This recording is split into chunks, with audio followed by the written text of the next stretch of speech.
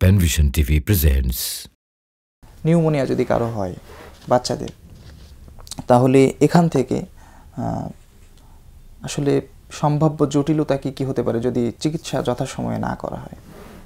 হ্যাঁ নিউমোনিয়াটা অবশ্যই চিকিৎসা করাতে হবে, আমরা তো বললাম যে এটার মানে সত্যিকার নিউমোনিয়ার থেকে তো মানে লাংসের বিভিন্ন অংশ ধরে, আমরা বলি লোবার নিউমোনিয়া, একটা অংশ ধরে, তারপর হয়তো আর একটা অংশ ধরে, এরকম করে দেখা যায় যে পুরো লাংস বা অর্ধেক লাংস অনেক সময় মানে ধর মানে আক্রান্ত হতে পারে। আমরা কোভিডের সময় দেখেছি যে লাংসের অবস্থা কি মানে একটি ভাইরাস কিন্তু মারাত্মক ধরনের ভাইরাস এটা বড়দের হয় কিন্তু বাচ্চাদের এখন যদিও কমে গেছে কিন্তু মানে বেশ মারাত্মক ধরনের মানে নিউমোনিয়া হতে পারে। তো সুতরাং মানে চিকিৎসা শুরু করে দিতে হবে যেতটুক মানে একটা একটা পরীক্ষা অন্তত করতে হবে। সেটা হচ্ছে বুকের একটা এক্স রে করতে হবে।